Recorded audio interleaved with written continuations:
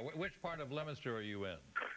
I'm in uh, East Leominster right now. I just actually stepped outside and and it's uh, looking southeast. It's it's pretty uh, it's it's pretty intimidating. I just seen the biggest strike of lightning I've ever seen in my entire life. Yeah, be very careful. Uh, that uh, seems to be coming right down there. It's a fairly oppressive humidity, and the temperature remains relatively high and soupy there. That would be correct. Yes, it's extremely humid outside, and uh, the, you can hear the thunder booming just just uh, a couple miles out, and the Yeah, lightning we is just I just heard it, right yeah. now.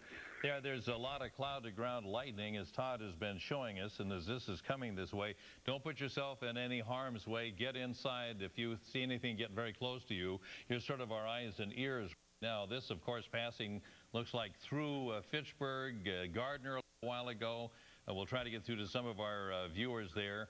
And at the same time, Todd, if you can keep an eye on that Manchester, that looked pretty serious too. We've got a lot of viewers up in New Hampshire.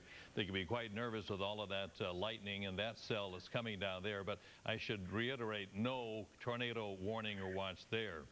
Yeah, that's right, Jack. Again, the tornado warning is for this cell that's moving through Leominster right now.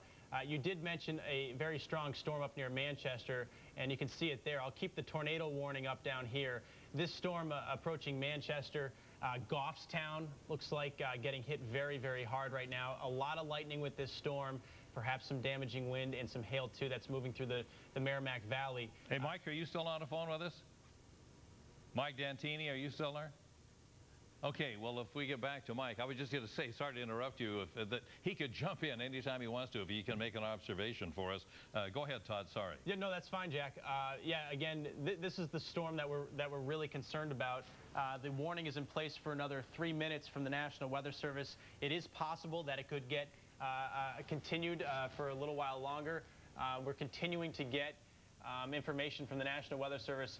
Uh, they did. Uh, they do have that that uh, severe thunderstorm warning in place. That cell that we were talking about in Manchester, Jack. Severe thunderstorm warning again for northeastern Hillsborough County. Uh, this includes the city of Manchester. That's up until 8:45. That's up for for another hour.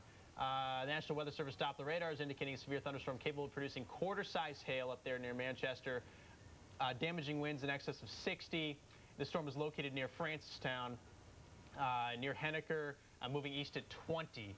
Uh, and again, Goffstown, you're in the path.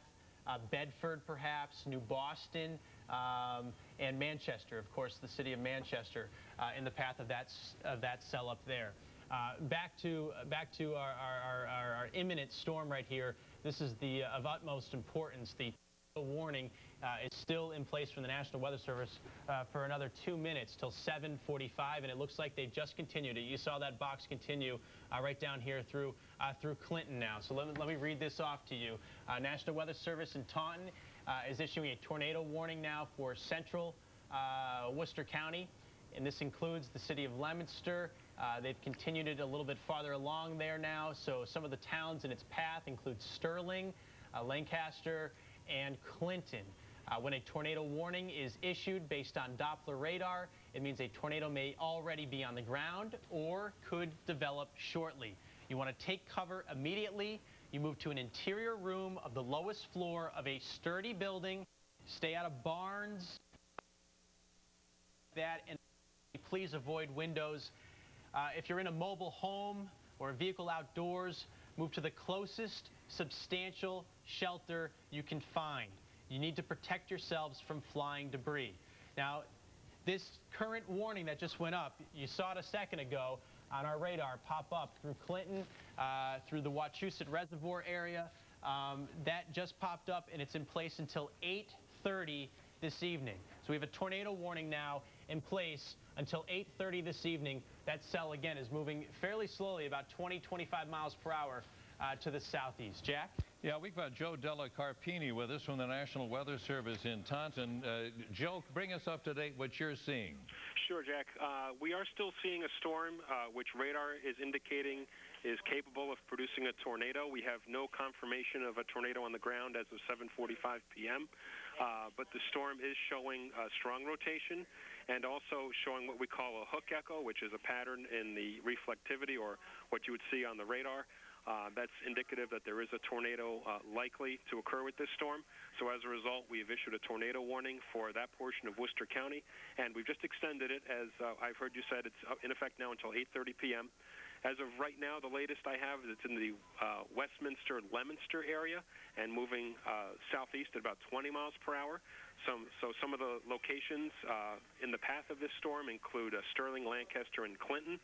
Um, we're advising people in those areas to go to an interior room on the lowest floor. Uh, stay away from windows, and if you're in a mobile home or a vehicle, um, get to the closest substantial shelter you can and protect yourself at this time. Joe, I'm, I'm curious, uh, is this unusual for the cell to hold together like this one seems to be doing?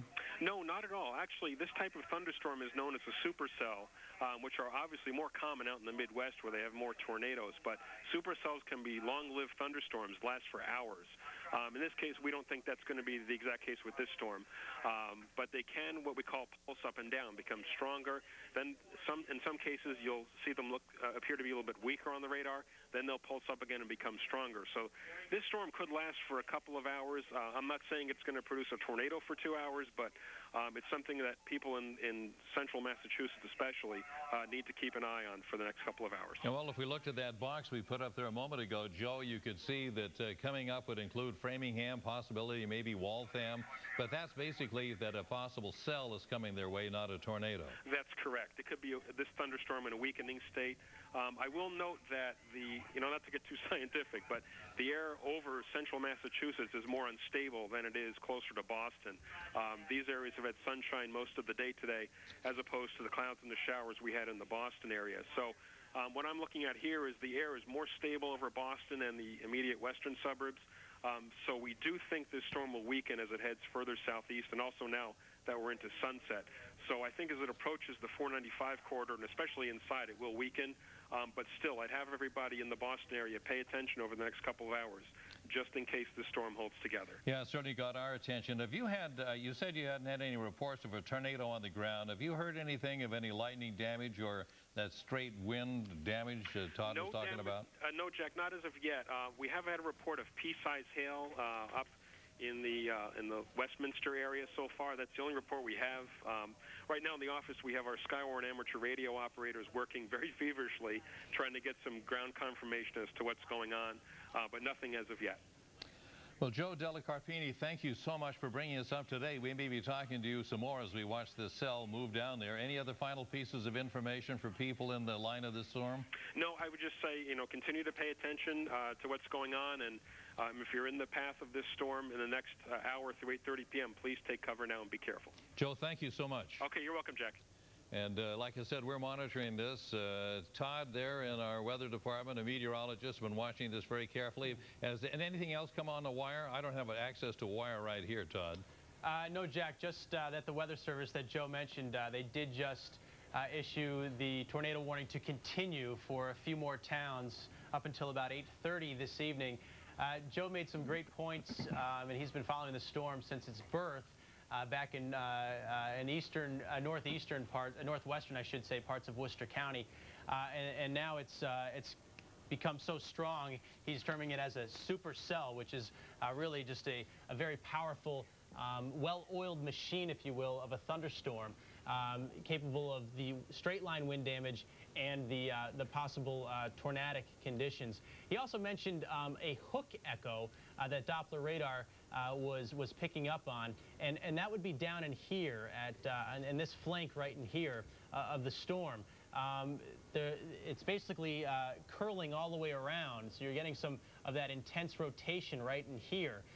and it's and it's actually you know creating this hook down there, and that's where the tornado is, is, is possible. So that's really right over, it looks like uh, parts of Princeton, uh, East Princeton, uh, right there, and, and approaching Sterling, uh, and then perhaps even uh, the Wachusett uh, Reservoir, which is down in here. So places like Sterling Junction, there you have it, Oakdale, Boylston.